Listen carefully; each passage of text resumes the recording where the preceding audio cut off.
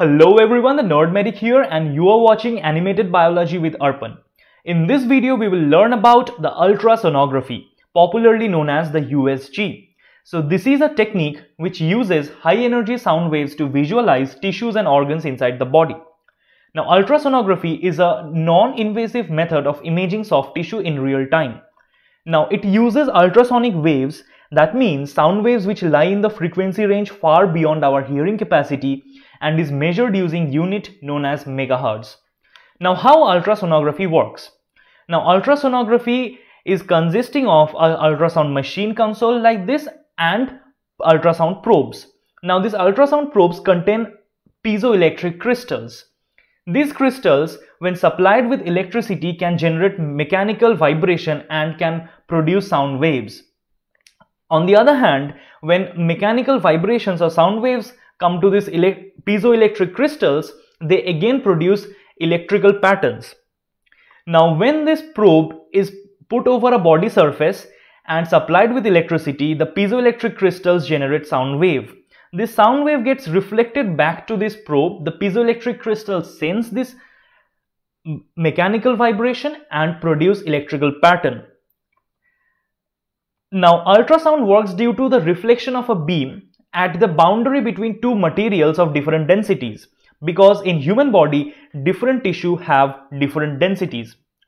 Now this electrical pattern that is generated by the piezoelectric crystals present in the probe in response to the mechanical vibration received back as a reflection from the tissues is analyzed by the software in a computer and an image is produced. Now this image is known as the ultrasonograph. Now the reflected wave is recorded and analyzed for its intensity that gives the amplitude and recovery time which tells about the depth of different tissue and tissue layers and gives an idea about the location of the tissue. Now this allows us to assess the size, shape and structure of the organs and tissues. Now a gel is applied during USG and this is because small air bubbles can be still present between the probe surface and the body surface which can give rise to distortions in the image known as artifacts. Now there are different sort of probes used in USG such as the curvilinear probe, linear probe or phased array probe. Different probes have different applications. Now let us understand how we interpret USG images. Now, when we put a probe on the body surface, the part of the image near to the probe appears narrower and the part away from the probe appears wider. Now, solid tissue such as bone will appear white or hyperechoic because the outer surface reflects more sound wave or ultrasonic wave, whereas the tissue that are filled with liquid such as amniotic fluid in the uterus will appear dark or hypoechoic. Now ultrasonography imaging does not work well for gas. So organs that are filled with air like lungs are generally not examined with ultrasound. There's a popular saying that goes in medical schools that air is the enemy of ultrasound and fluid is friend. And remember ultrasonography does not use any radiation so you don't have a risk of getting radiated. Now ultrasonography is done in most women during their pregnancy this uh, imaging technique is useful to detect developmental de defects. For example, ultrasonography is used to detect neural tube defects such as spina bifida during your pregnancy.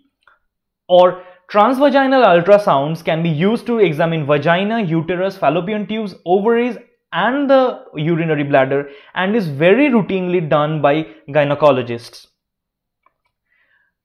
Other ultrasounds like Doppler ultrasound is used to look for vascular diseases like varicose veins. And this uses the principle of Doppler effect in this ultrasound technique.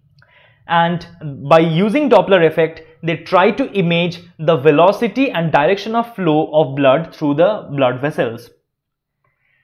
Again, another type of imaging that uses ultrasound is known as elastography, which uses different colors and represents the consistency of a particular tissue as seen in this image. Now ultrasonography can be used to image eye and can detect different conditions of the eyeball. Now this image shows a normal eye USG and I believe you can make out the normal contour of the eye. So this is more or less the idea about ultrasonography or USG. If you have enjoyed this video, please do hit the like button, share this video among your friends and peers and do subscribe to the channel. To get high quality notes and flashcard, follow the Facebook page and Instagram of Animated Biology with Arpan. The link will be in the description box. Also, we need your support to make high quality content on this channel. So support us on Patreon or also you can use the super thanks button in the bottom right corner of the video and can contribute using Paytm, PayPal or UPI. Again, if you wish to connect with Arpan Parichha of Animated Biologies with Arpan, the links will be given in the description box and for medicine related content, you can subscribe to my channel, The Nerd Medic on YouTube. Also, if you want to get in touch, you can connect me via WhatsApp, Instagram, Facebook or email. The IDs are given on the screen. Until then, bye bye. See you in the next